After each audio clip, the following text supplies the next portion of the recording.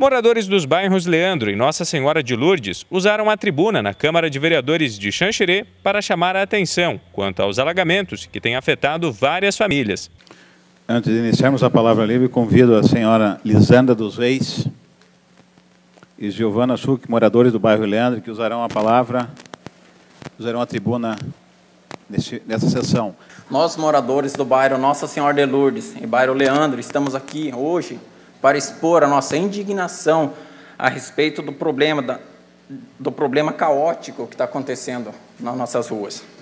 Nós pagamos os nossos impostos, cumprimos nossos deveres de bons cidadãos e precisamos de uma solução quanto aos alagamentos que vem acontecendo na nossa rua.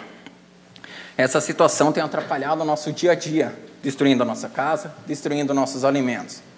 Pense vocês comigo, uma senhora de quase 80 anos de idade, acordar de madrugada e perceber que a casa dela está toda alagada de água, onde ela perdeu sofá, onde ela perdeu cama, as suas roupas que não conseguiu recuperar devido à quantidade de lodo, será que é merecível isso? Precisamos de um plano de escoamento, bocas de lobo maior, um sistema de drenagem maior.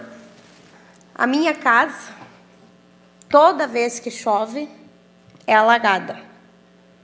Toda vez.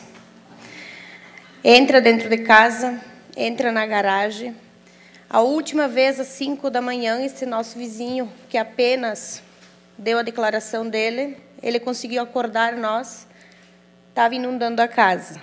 A nossa rua tem o rio. Esse rio está fazendo uma curva de 90 graus, que não tem necessidade de fazer essa curva. É só fazer uma canalização por baixo da rede elétrica, que ó, 90% do problema será resolvido. Obrigado, Lisandra. Quero agradecer você, ao Giovanni a todos os moradores do bairro Leandro e Lourdes. Dizer que estaremos solidários à reivindicação de vocês, vamos levar ao conhecimento do poder público para que a gente tenha realmente como equacionar esse problema de vocês. Obrigado.